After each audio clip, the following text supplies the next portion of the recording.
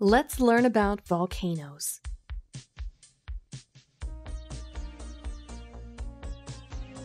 Ah, this is a volcano eruption.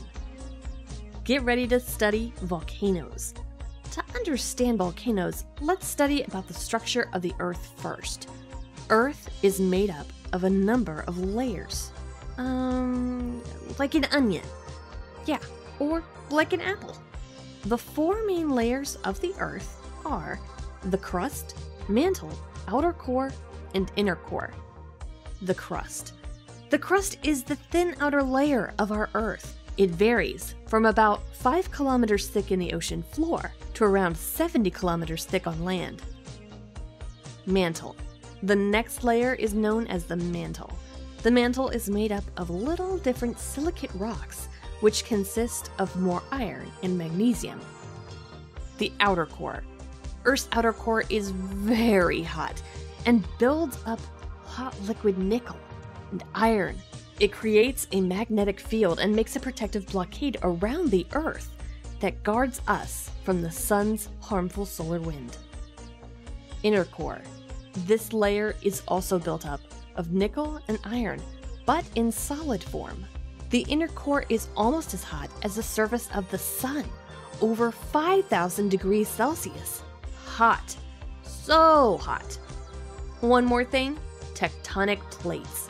The tectonic plates are a combo of the outer mantle and the crust. These plates move very slowly. You can say uh, around a couple of inches a year. Let's do a simple experiment. Bring a cola bottle.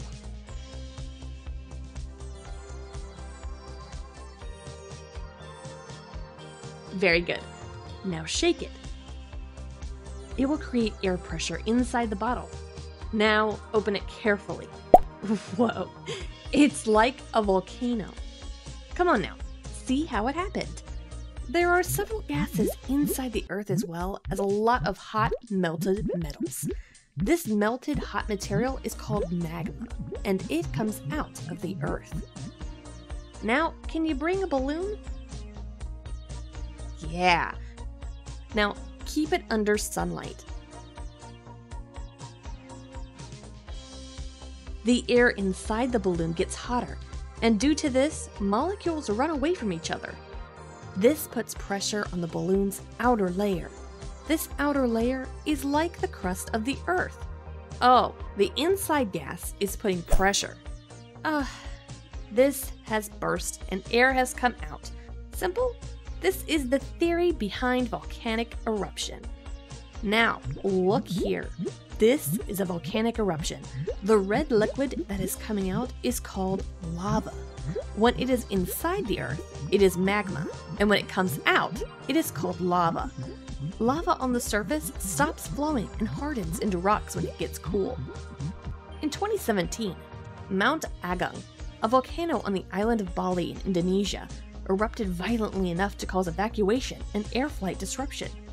A volcano is a mountain that is disclosed downward to a pool of molten rock beneath the surface of the Earth. And whenever pressure builds up, eruptions occur. There are three different types of volcanoes active volcano. In this, eruptions can be anytime and often. An example is Mount Vesuvius in Italy and Sakurajima in Japan. A dormant volcano is an active volcano that is not erupting, but is supposed to erupt again. An example is Mauna Kea in Hawaii and Mount Fuji in Japan. Extinct volcano. It means it hasn't erupted in a very long time, so it probably won't ever erupt again. An example is the Deccan Traps in India and Mount Kilimanjaro in Tanzania. Volcanoes can also be classified based on their shapes. Shield volcanoes. These are shaped like a shield or a bowl in the middle, with long, gentle slopes made by the lava flows. In this type, the magma is too runny, so the gas moves away easily, and the magma simply comes out of the mountain and flows down the sides. No explosion, though.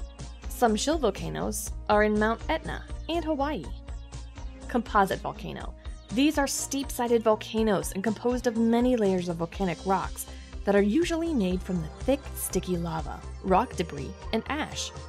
In this, the magma is thick and gluey, um, like honey, so gas cannot escape and it builds up and up and up until it explodes, sending out huge clouds of burning rock and gas. Some examples are Mount Cotopaxi in Ecuador and Mount Fuji in Japan. Cinder cones. These are ovular or circular cones and made from erupting lava that breaks into small pieces when it shoots in the air. The small pieces fall back to the land. They cool and create cinders around the vent.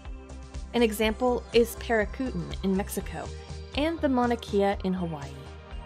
Volcano lava domes.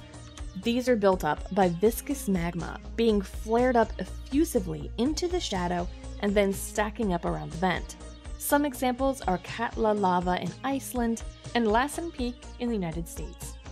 Now, you know a lot about volcanoes. Oh, again the eruption. Cool. Stay tuned for more videos and always help others.